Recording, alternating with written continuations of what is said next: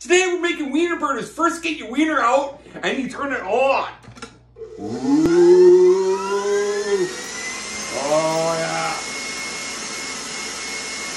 I got my last wiener in there. Let's see how it goes. All right, let's see this. Holy cow. This looks awesome. All right. We're gonna form our wieners into patties now. Let's add the egg. All right. There's the egg. Boom. Oh, there's the shell. Boom. Let's mix this up. Uh, we're making two of them right now.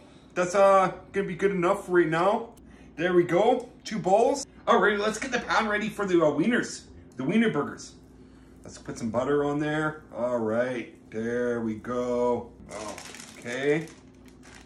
Get it smashed. Gotta put some pepper on it. All right, let's see how this turns out.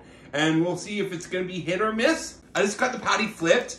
It's got caramelization on the patty though. I'm gonna put a little bit of pepper on it and I'm gonna put some cheese on it. Here we go, just a little bit of pepper.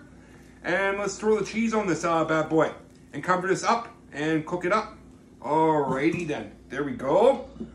So let's cook, let this cook and let this melt and we'll see how it turns out. That's it. I buttered the toast and assembled it. All I'm missing is my mustard and ketchup sauce. It's time to add the sauce. That's it. Let's first the mustard. All right. Okay. Lots of mustard and the ketchup. Lots of ketchup. Oh yeah. All right. Let's squish this together there. Okay, let's give it a taste. Kind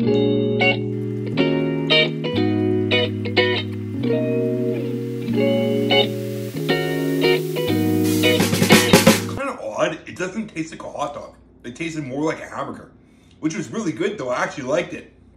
Mm. Wow, I'm really shocked. Nice cheese on it. Love the meat. I give it 4 2 out of 5 stars. You have to check it out. You have to make it. And remember, buy Tukes. It makes me happy. And remember to like and follow.